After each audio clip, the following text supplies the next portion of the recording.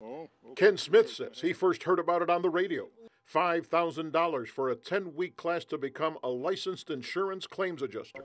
Smith says he put $1,000 down and began the classes in February here at the Insurance Education Centers of America on Bear Lane.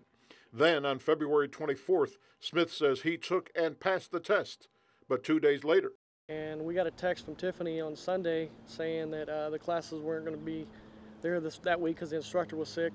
The Tiffany Smith referred to is Tiffany Montez, the owner of this particular branch, according to her LinkedIn page.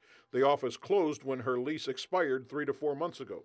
Smith recalled that wasn't the only time she'd canceled class. Yeah, I was kind of suspicious because uh, every time she canceled classes, it would always be Sunday night, you know, six or seven at night. Sending you a text saying, hey, don't show up tomorrow, nobody's going to be there. Right. On the Insurance Education Centers of America website, they only list two offices in Texas, Lubbock and Midland, but they do mention Corpus Christi graduates. And the business is registered with the Texas Department of Insurance, according to a TDI spokesperson. Smith says he's still waiting for his license and hasn't heard from Tiffany Montez since March 21st. Please, she said, I hope I don't, you guys don't think I'm blowing you off or trying to avoid you guys. Just I don't have an instructor. I'm looking for an instructor.